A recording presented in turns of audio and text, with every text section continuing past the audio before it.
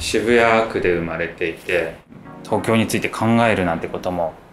あのほとんどなかったんですけど、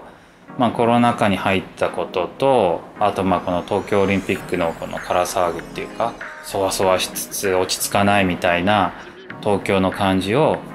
まあ、きちんとその残しておこうと思って大きいからここは本書庫ですね。昔の本とかそういうのをこう読み返したりしていて、まあ、アルベール・カミュの「ペスト」っていう小説があったんですけど、まあ、ペストにかかって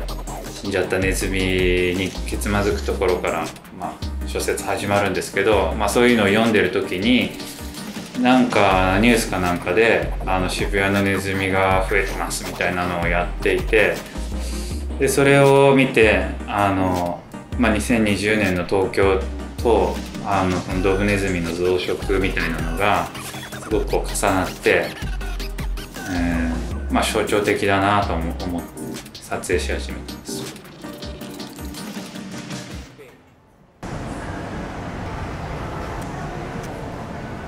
動物としてのネズミっていうよりは、まあ、渋谷っていう自然が1ミリも残ってない人工的な街の中で超自然に生きる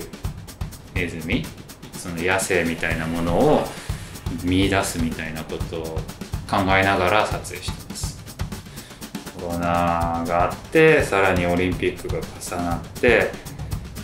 うんなんかいろんなものが移り変わっていくんだけれどもなんかこういつもこう混沌としてるような。今撮影してる写真が50年100年経ってちょっと別の意味を持ってくると思うんでそれをまあちゃんと